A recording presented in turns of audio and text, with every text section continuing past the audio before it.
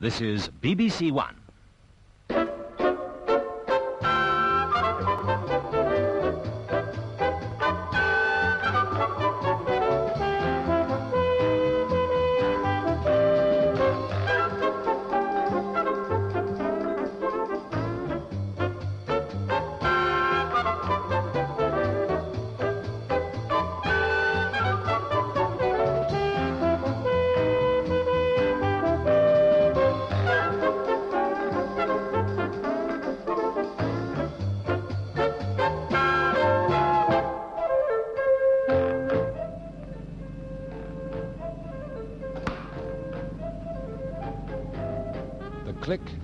Flash of a surgeon's laser as he spot welds at the retina of a human eye.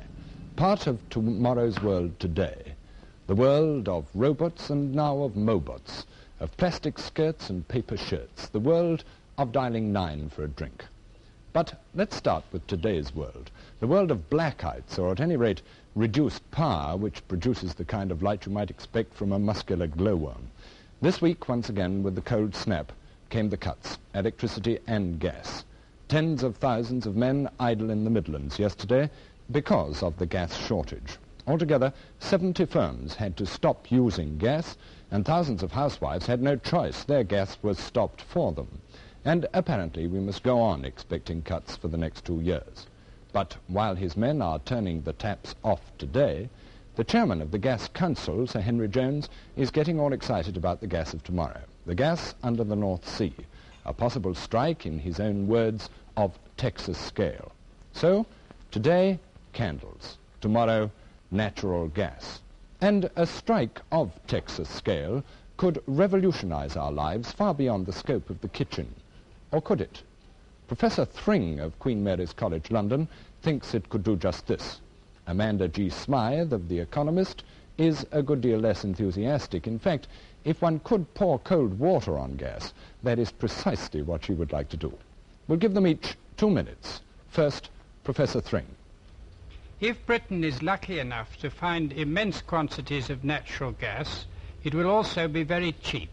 And this will be of tremendous value to the country in two ways. First, as a chemical raw material, and second, of course, as a fuel. In terms of chemical raw material, it could mean that plastics became tremendously cheap, and so cheap, in fact, that we could use them for building our houses. We could use them on farms for irrigation and for water protection and many other purposes. We could even use them to act as solar distillation units in the desert using the sun and irrigate the whole of the deserts of the world. Similarly, fertilizers would become very much cheaper as a result of this.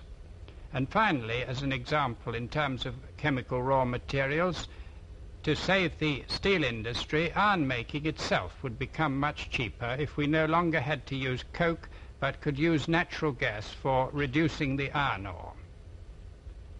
But the fuel uses would be also very exciting. After all, we spend nearly 10% of our national turnover on fuel, and therefore a very cheap fuel would be of great value to the country in every way, both in terms of manufacture and in terms of people in their houses heating them. I'll pick out just a few examples. First of all, we could make electricity quite a bit cheaper if we had unlimited cheap fuel. We might even be able to develop considerably more efficient ways of making electricity through magnetohydrodynamics if we had natural gas, which is the ideal fuel for this purpose. The Americans, for a long time, have been working on an idea for making electricity in their houses when they haven't got electricity supply by means of natural gas in fuel cells. And this, again, we could do in places.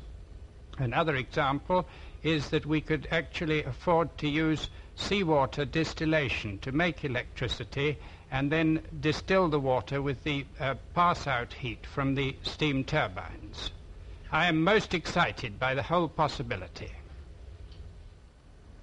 Well, if and when we do find the gas, the first thing we're going to have to do is to lay gas pipelines all over the country, in a grid system probably, like electricity. At the moment gas doesn't run all over the country.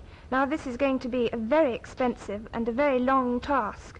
And Then after that, when we've finished with that, we've got to think of turning our gas fittings in our homes. We'll have to change those completely. They've done it in Holland already, and this will mean that each household will spend between 15 and 20 pounds on having this done. We don't know who's going to pay for it yet, but it'll probably be the poor housewife, and she'll have all the horror and mess of having the man in her house changing the fittings. It's going to be a very messy business. Now, one of the areas which might benefit from this first of all would be the East Coast. This is where the gas will probably be found, and you might get some big industries moving up there, industries like the glass and the pottery industry, who, who use a lot of heat. Gas at the moment costs about two shillings a therm. It costs a shilling to produce and a shilling to distribute. Now, when we found the gas, it would still cost a shilling to distribute, but of course to produce it, it would be much cheaper. But still, it's going to cost about one and four a therm, which isn't sort of some magnificent difference, really. And then there's the question of balance of payments. Some people think that this is going to change the balance of payments enormously, but there is just one point, which is that gas will not be in direct competition with oil on the whole. It will in the sort of oil that we burn for our heaters, but not, on, not in a general way. And so the industry it probably would hit is the coal industry. And if the government they may not allow this, of course, they may want to protect coal, but generally the poor old coal industry would be for the boot. Two precisely opposite points of view. Anyway, whatever the future, whether it's uh, driving down into gas or just straight through shoals of mackerel, the drilling under the North Sea goes on and goes down. But have you ever thought what happens when things go wrong? The problem of doing running repairs on the bed of the ocean. So far, the answer has been to send down a diver.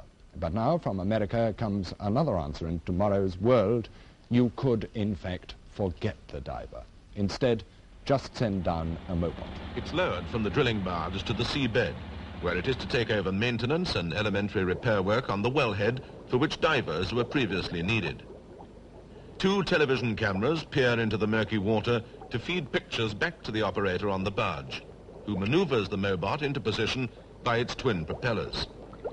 With vice-like grips and spanners at the ready, the machine closes in on the wellhead.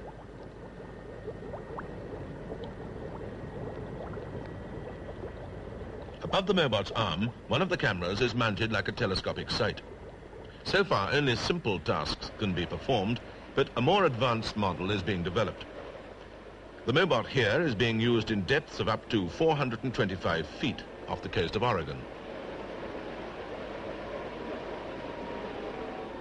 The second television camera is mounted on top of the Mobot. The black and white gauge shows the operator the angle of the camera and he can tilt it in any direction. Then it's just a question of manipulating the spanners and the job's as good as done. The human eye, the most delicate and therefore the most easily damaged part of the body.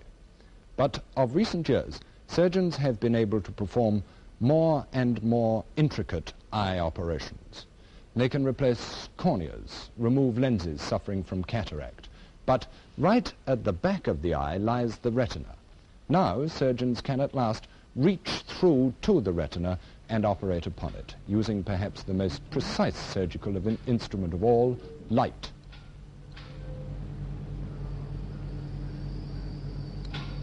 This surgeon is using a beam of light to operate on the eye. This is a technique which is a big advance in eye surgery, and we've come to Moorfields Eye Hospital in the City of London to see it being used. Now, if we're to understand what's happening, we ought to look at what the eye is like, and I've got a model here of the eye, and I'm using my hands, my fingers here, to represent the eyelids. Um, behind the eyelids, the eye is quite a large ball. And this model we can take in half to see the inside structure. In front there's this transparent window. Behind that the lens, which lies behind the iris, in the, inside the pupil. The light is focused by this lens onto this light-sensitive membrane at the back here called the retina. Nerves collect the impulses from the light-sensitive cells here and conduct them to the optic nerve here, which carries the messages to the brain. Blood vessels here bring blood to the eye, and this is distributed by these little fine blood vessels that radiate out through the inside of the eye. The front of the eye here contains a fluid, and here there's a jelly-like substance, the vitreous Now, it's obvious that with this very delicate membrane, it's a great advantage to be able to operate on the eye without opening it. And this is what this light technique permits. And this is why the surgeon and I are not wearing masks or gloves. Could you explain exactly what it is that you're doing with this machine here? Yes, well, this machine has a very powerful bulb in this big lamp house, and it is mounted on the end of this tube. And the light comes down the tube and is reflected into the mirror, which is at the end here. And I think possibly you can see some of the light being reflected by that light, by the mirror. I reflect the light down into the patient's eye, and the natural focusing of the eye, the mechanism, focuses it to a tiny little point of light on the back of the eye, and the dark velvety membrane at the back of the eye receives the light and converts it into heat. And this heat is transmitted to the retina through which it has passed and to the other tissues. Uh, uh, and what does it actually do to the tissues, the heat? It produces a very tiny little burn and is rather like spot welding these tissues together. How strong is this light? The light at the moment that I've been using is about three times the brightness of the sun at the Earth's surface. And do you have to have any anesthetic? Yes, the patient has an anesthetic given to him behind the eye before he comes to the theatre. The point of this is so that the, uh, the light doesn't seem so bright to him, and also so that the uh, eye muscles don't move the eye about, so that I have complete control of where I'm putting the light. And what are you actually treating in this patient? This patient has a series of little swellings in one area on the one area of the retina, the little swellings on the blood vessels. And these little swellings are rather weak, and if he were to exert himself very badly or cough violently, they might produce a hemorrhage and um, possibly cause him to be blind. So to sum it up, you're passing strong light through the eye, it's turned into heat at the back without affecting the front of the eye at all, Yes. and this is coagulating these little blood vessels and saving a possible loss of vision later. Certainly, yes, it is Preventive so. treatment. Yes. Dr. Carroll, uh, what do you feel when he turns his light on? Do you feel anything? Almost nothing. very, very slight uh, pain at the end of the flash. Do does the eye light seem very bright to you, or just ordinary bright? Not excessively, just just uh, very bright, really. So it's not a distressing experience at all. No, not at all. Uh, now, what other conditions can you treat with this method? We can treat conditions where the retina is, ointment please, very thin and um, there may even be holes in the retina whilst the retina is still flat and the holes are potential sources of danger in that they may leak. The vitreous which you were talking about becomes degenerate and fluid. Little sellotape, sister. And this degenerate fluid can leak through the hole in the retina and peel it off the back wall, rather like if you tore a, a piece of wallpaper and it was damp, then you could strip the whole wallpaper off the wall. And with this technique, you- can just stick the retina so it can't come away, Yes? and, and this saves the, the patient's sight. Yes, it does. Now, in the old days, before you had this technique, could you do this by ordinary surgery, by stitching? No, no, you can't sew this tissue because it is far too delicate and it's rather like trying to sew something like uh, wet cobweb. It's just not possible. So this is a new technique, which is uh, such a simple operation. The patient is even just wearing his shirt, you see, and this is saving people's sight all the time. This patient has one of these weak spots in his retina, which is rather centrally placed, and so a new technique, a newer technique, which is under trial here at Moorfields, is going to be used. This uses the laser, which stands for light amplification by the stimulated emission of radiation. And this produces the most intense form of light known on Earth. And here it is in this quite compact little device. Could you explain just what, how it works? Now, in this handle, there is a ruby crystal which is machined into the form of a rod. Next door to this rod, which is about three inches long, there is a, an electronic flash tube. This flash tube, when it flashes, energizes the particles inside the ruby, and the ruby crystal particles get uh, very excited and emit a very powerful and rapid beam of red light up through the instrument, and it goes through an optical system and is directed down through the patient's receiving hole at the bottom of the instrument. I can look along that beam of light through my side of the instrument and direct this beam of light into exactly the position at the back of the eye that I wanted. So we have the light amplification by stimulated emission in here, Yes. and the radiation, The radiation comes out. comes out. And this radiation comes out at a very, very rapid rate. Now, this instrument was, um, is, is on, on uh, trial here and was developed in Newcastle on Tyne at the Royal Victoria Infirmary. Now, before we begin, perhaps I could just explain, using our model again, uh, exactly where this patient's trouble is. In the other patients, the blood vessels out at the edge of the retina here were affected. Isn't that right? Yes, it's so. And this patient, I gather from you, has his weak spot in the central part just about there. Is that right? Yes. Very near the central part of the back of the eye where the detailed seeing is done. Therefore, we need to be very much more careful and delicate in our applications of treatment so as not to damage parts of the eye that the patient needs, needs to use for his everyday life.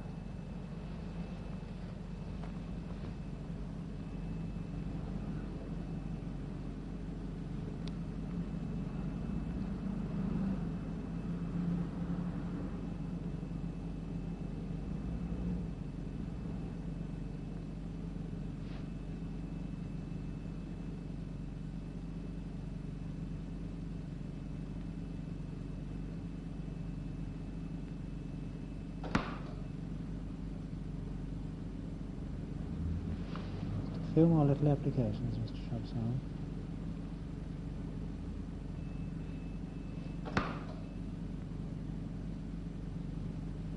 Each of those flashes lasts for about Just a Over. few thousandths of a second, so that the light is come and the reaction produced and gone before ever the patient has time to blink.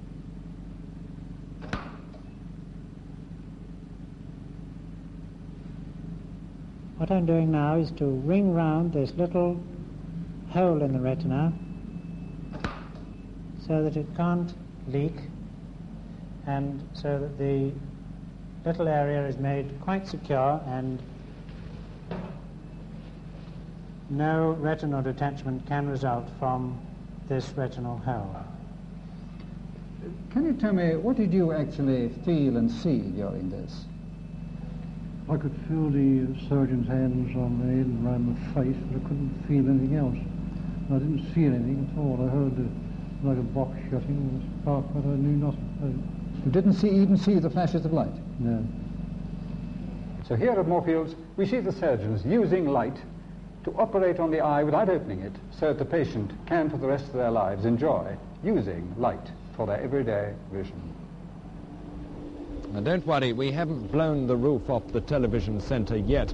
In fact, uh, all this is the product of a wind machine, at the moment blowing about uh, 10 knots, I should think, 12 miles an hour thereabouts. And to get blown about like this, I could be standing on a slice of exposed moorland where the wind would be blowing at about the same speed wherever I stood. Or I could be standing at the back of a tall building while just around the corner, about 50 yards away or so, there might hardly be any wind blowing at all. And that odd fact is beginning to worry some people more and more. If you haven't been around this world very long, large things can take on considerable significance in your life. If you're very small, then a small Victorian villa in a small Victorian row feels pretty overpowering. But if one day you find yourself with a new neighbor, its effect might be devastating. For example, it might well have delusions of grandeur, of which you don't entirely approve. The monster might well block your view from the back bedroom. Or it might well be that it simply makes you feel small. But get a whole group of these pillars of society around you, as they have at Notting Hill Gate in London, and you'll notice another problem, wind. Where does it come from? Where does it go? What effect does it have on the way? One effect is that it's unpleasant to live with. And some housewives in the Notting Hill Gate area have changed their shopping habits to avoid it. Another effect is the dangerous force a high wind can have on tall buildings if the conditions are critical. To begin to find out just what does happen, the Building Research Station has built a wind tunnel to test wind effects on model buildings. Some of the results they get, to say the least, must provoke a little thought for people who live in and among high places. For example, if we take a single tower representing a building 160 feet high, the velocity of the vortex, or the whirlwind in front of the tower, is found to be the same as the wind velocity in the free airspace at the side of the building.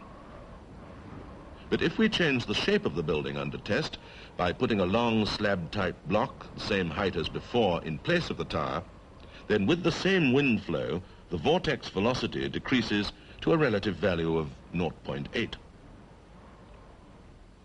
A model of a smaller building, representing a slab block 40 feet high, produces lower speeds of 0.2 relative to the values found with a tall building. Suppose now we built a second 40-foot high model block of flats behind the first. The relative velocity between the two rises to 0.7, but stays at 0.2 in front of the first block. Put in a third block, and the same thing happens.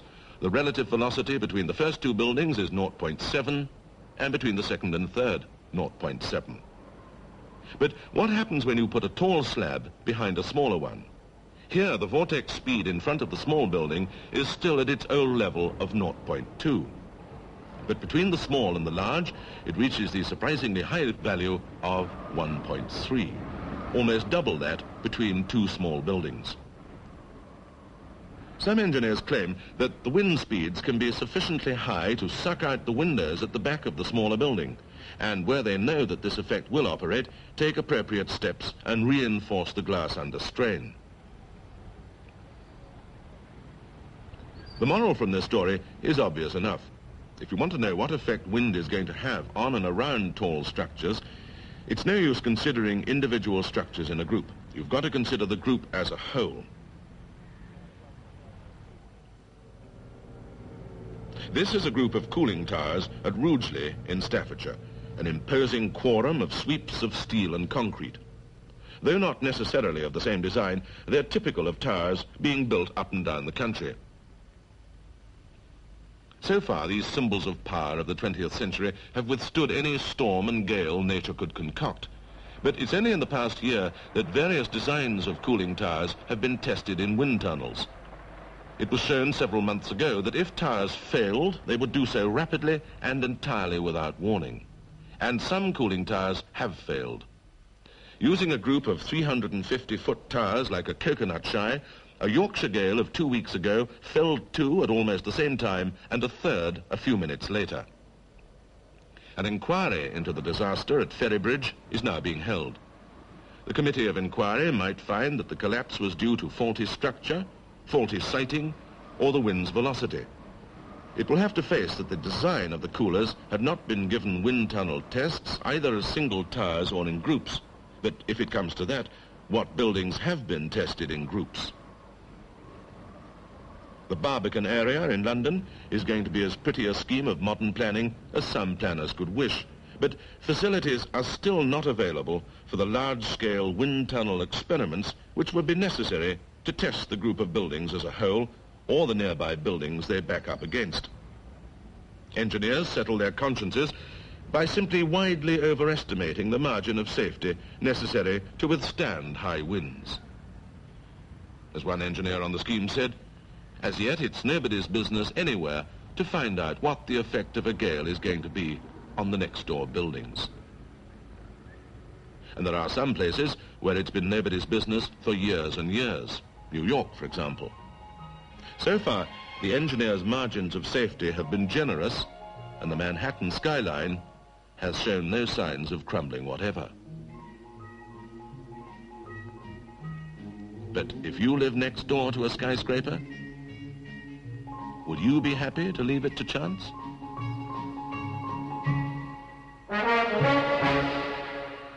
And this week in the House of Lords, Lord Stonham, the Under-Secretary at the Home Office, admitted that no wind tunnel tests had been carried out on those cooling towers at Ferrybridge. If there had been, they might still be standing.